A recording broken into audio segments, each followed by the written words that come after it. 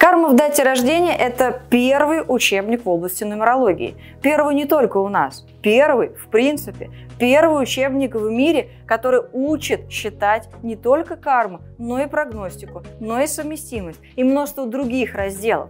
Здесь мы раскрыли азы и основы кармической и прогностической нумерологии. Как вы видите, книга весьма внушительная, но написана простым и доступным языком. Если вы хотите начать консультировать и зарабатывать деньги, книги, а не только разобраться в себе и в своих близких, то эта книга как раз для вас.